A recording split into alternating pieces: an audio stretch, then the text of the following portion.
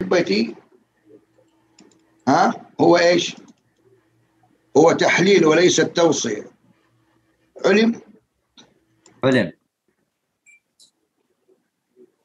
ما ما عمري أنا وصيت على سهم أنا احلل وأحطك في الصورة وأوريك خريطة الطريق أوريك كيف تستأنس. وكيف يقوى قلبك في اللعبة مع السهم وكيف تتوقع ال ال ال الأشياء الحلوة عشان تساعدك في اتخاذ القرار؟ والميدان يا حميدان وكل واحد حر في قراره. فنحن نتف... إحنا قاعدين نتكلم عن عن تحليل وليست عن توصية.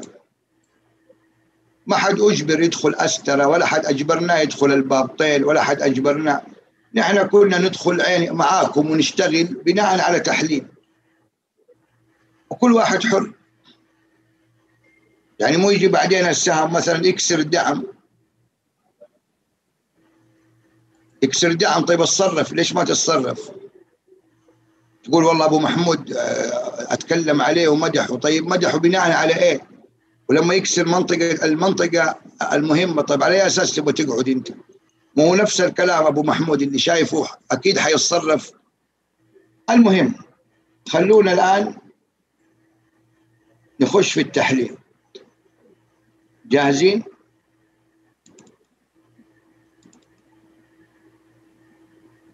خمسة وسبعين. هذا السهم من قمة 2014 75 ريال. إلى قاع 2016 24 عشرة. هذا الفيبو الرئيسي. هذه هي ال 64 عشرة اللي نحن بنتكلم عليها كنا يوم الخميس اللي هي منطقة ال 78 اللي هو قفل فوقها. طيب حطينا الفيبو الرئيسي. حق من 2014 نيجي نحط الفيبو الرئيسي من 2006 عشان تعرفوا إيش سوى السهم قبل كده. لما اخترق 64 10 فين راح؟ من 2006 الهاي 256 فاصلة 93 256 فاصلة 93 القاع فين في 2008 حق التصحيح 14 فاصلة 95 14 فاصلة 95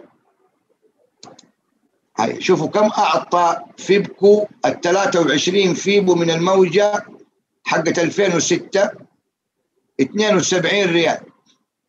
شفتوا هذه النقطة؟ وصل فيبكو 71 90 في المرة الأولى قبل ثلاثة أربعة شهور لما اخترق 64 عشرة طيب تلاحظوا أيضا أنا راسم زي موضوع المؤشر حق السوق السعودي.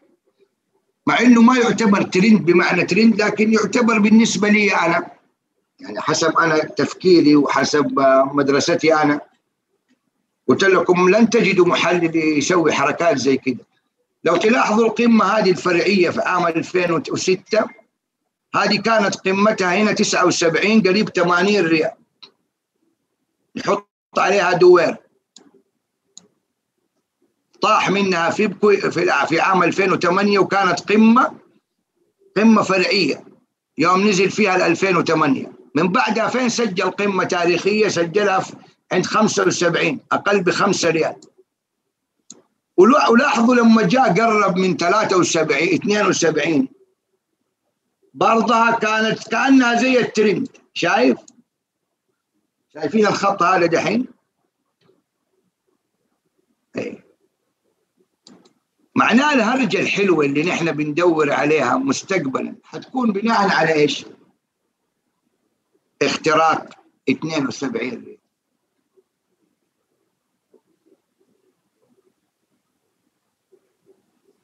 تمام؟ طيب لو جينا لو جينا الآن أخذنا من عام 2008 ترند مررناه بقاع كورونا خلينا نعتبر إنه في عام 2008 قاع. وهنا أيام كورونا أو أو مو أيام كورونا أيام أيوه أيام كورونا قاع. وجينا سحبنا خط موازي كده.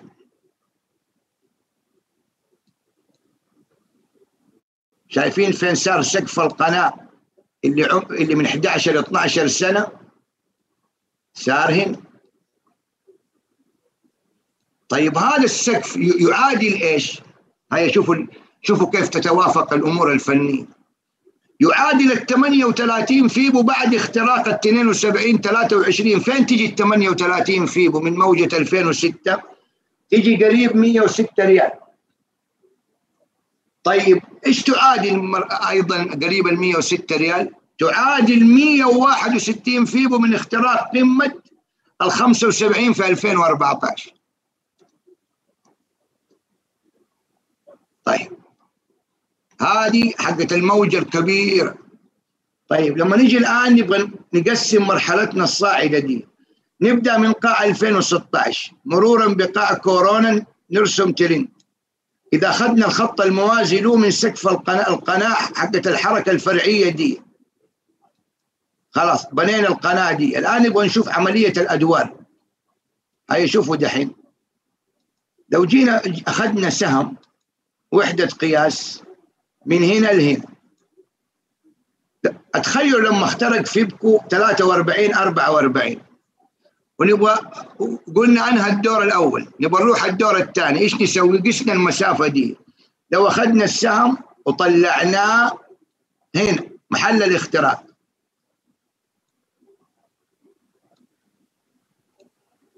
شايفين؟ وصل ولا ما وصل الدور الثاني فيبكو؟ وصل بالراحة وضرب بس ما قفل لذلك دخل في عملية جني أرباح وهد طيب لما يجي المرة الجاية فيقتحم سقف القناة مع منطقة ال 72 على طول حتاخذ السهم وتحطه محل الاختراق كده فين حيعطيك الدور الثالث؟ حيعطيك هو برضه قريب ال 106 يعني لو جيت أخذت خط موازي ها هنا. هذا الدور الثالث في هذه المنطقة. لذلك نحن ما ما دام البيانات كلها متقاربة لذلك حنمسح الترند هذا. خلاص فهمنا فهمنا فين ممكن يروح فيبكو لو دخل في في مرحلة الدور الثالث.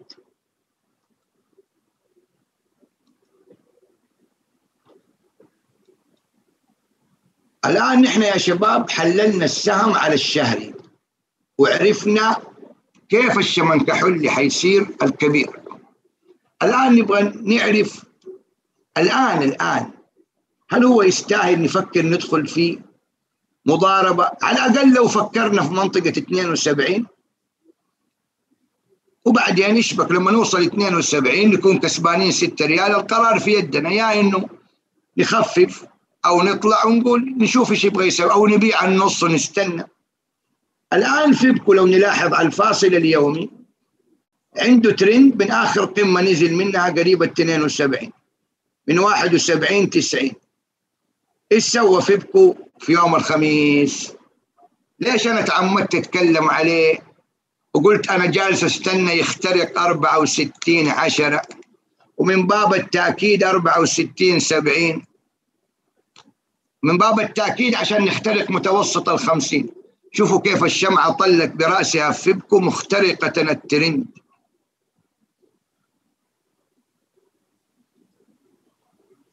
شايفين؟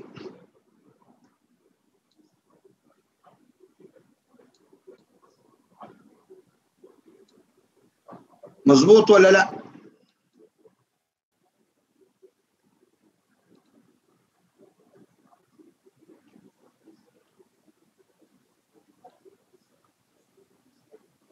هذه السلوكيات مرت فيها عدة أسهم. وسبحان الله وأغلبها شركات كان وزنها خفيف. والغريب أنه هذا الغزال ما دخلها حتى الآن. واحتمال يدخلها إذا اقتحم كم؟ إذا اقتحم كم؟ 72 ريال. طيب إيش اللي يخليك يا أبو محمود تتعشم بأمور زي كده؟ في شيء اسمه ترند قناة صاعدة. هل خرج فيبكو من قناته الصاعدة؟ اللي بناها من قاع كورونا. ما زال داخل مسار صاعد رئيسي متى يخرج فيبكو من هذه القناة لو تتذكروا قبل فترة أنا تكلمت الكلام ده. وشرطت إنه ما يكسر 64 عشري. مو عشان يخرج عن النظرة حقتنا حاجز الثلاثة أرقام. لا لكنه حيبطبط وحيأخرنا. فكسر 64 عشر. وقلت لهم سيبقى فيبكو. جيد ما لم يكسر 58 استراتيجيا. يعني ممكن يرجع. نزل فيبكو ما نزل فيبكو كثير يعني. أظن قفل قاب كان عنده في المنطقة دي. لو نرجع للشارت اليومي شوف كان تارك فجوة هنا. يا دوب هو رجع قفل الفجوة وطلع مع إنه لو كان فيبكو وقتها نازل يعني شوفوا الترندات خليني أحطها على اليومي أوضح. يعني شوفوا هذا هو الترند الآن من قاع مارش قاع كورونا مرورا بقاع أكتوبر. شايفين فين انكسر الترند وفين متوسط ال 200 كلها في مناطق قريب 59 58 هنا نقول game over هنا انسى الفيلم اللي انت قاعد تفكر فيه ده كله. لأنه لو سوى زي كده انتهت. مع السلامة. هنا الخروج. والله لا يمكن أقعد في فيبكو. لكن فيبكو ما شاء الله تبارك الله ما داخل القناة الصاعده وهذه القناة لو أنا الآن مبدئيا يعني ما بدي أطمع كثير. أبغى ألعب لسقفها. كده بدي أقول أنا ما أبغى ألعب إلا للسقف ما أبغى ألعب لعملية. شوف السقف مبدئيا فين يوديك؟ يوديك مو إحنا قلنا 106 لكن هذا يوديك مبدئيا إلى 88 ريال. أنت ممكن توصل 88 بعدين تنزل تسوي بريك بعدين تطلع. المصافي لما طلع 180 ما طلع على طول 180 طلع أول شيء 90 بعدين ريح بعدين طلع 130 بعدين ريح بعدين طلع 170 بعدين ريح بعدين وصل 180 ريال ففيبكو الان لو لو نبغى نمشي بس على مبدأ القناة دي فين يعطيك الهدف؟ يعطيك الهدف اللي هو 127 فيبو من اختراق قمة 2014 لكن يا جماعة هذا هذه قناة هذا سقف متحرك. لو طلع فيبكو في فترة بسيطة ممكن يوصل لهنا. طيب لو كان فيبكو طالع ونازل وطالع ونازل هذا السقف ممكن يوصلك ل 106 الآن نحن لما كسر فيبكو 64 وقفنا المتابعة. قلنا حطه على جنب. لكنه استراتيجيا طيب لكن ممكن ينزل ل 59 ممكن ينزل ل 60 وصل فيبكو تقريبا 60 90 وحاول يطلع. اختبر أول مرة 64 ما قدر نزل. شوفوا الآن صادف اختراق 64 10 الخروج عن المسار الهابط. عشان كده نحن الآن اعتبرناها الآن بداية الدخول في فيبكو. لكن مو داخلين في فيبكو عشان نروح الآن 106 أو نروح 88 لا. نحن رايحين الآن 72 نقول. لكن نحن قاعدين نقول على مبدأ القمم والقيعان داخل القناة. أتخيلوا المرة الجاية نروح فنخترق 72 وتكون أنت في وسط السهم قيدك متمركز من 64 من بداية المشوار. زي دحين لما دخلنا في أستر. أو دخلنا في البابطين. تعال أعيد لكم القصتين عشان تفهموا طبيعتها. لما كنا قاعدين في البابطين إيش كنا نقول؟ لازم يخترق البابطين الترند. والترند عند 33 60 34 طيب ليش قاعد؟ طيب يمكن ما يخترق. لا والله يستاهل ما داموا في مسار صاعد ما لم يكسر 30 30 أبغى أجلس في البابطين. لأنه لو اخترق والله حيبدع. بس نحن داخلين في منطقة حلوة ودعمنا قريب. يعني وقف الخسارة قريب. لو كسر 30 30 نطلع من البابطين. استرى والله يا جماعة عنده منطقة مهمة 38 فيب وعنده 31 20 لكن نبغى ندخل ما داموا فوق 27 نبغى ندخل. وقف الخسارة قريب نفس الكلام في فيبكو. بندخل هنا على أساس إنه إيش؟ إذا اخترق 72 حنبدع. لكن قدرنا دخلنا في منطقة صحيحة دخلنا مع بداية الانعكاس الإيجابي. لكن فهمتوا الآن إيش أقصد أنا؟ فلما توصل عند 72 حيكون وضعك وانت مع السهم أقوى من واحد جاي يبغى يدخل عند 72 يقول لك يمكن يخترق. يقوم السهم ما يخترق فيجي ساحبه على تحت. انت على الأقل وقتها بتلعب بأرباحك. ممكن تحافظ عليها ترفع درجة المحافظة على الأرباح. تقول مثلا إذا وصل قريب لا يكسر 70 أو لا يكسر 67 على النظرية. وضحت الصورة يا أخوان؟ فهمتوا الآن إيش بدي أوصل لكم هو في فيبكو فهمتوا خريطة الطريق؟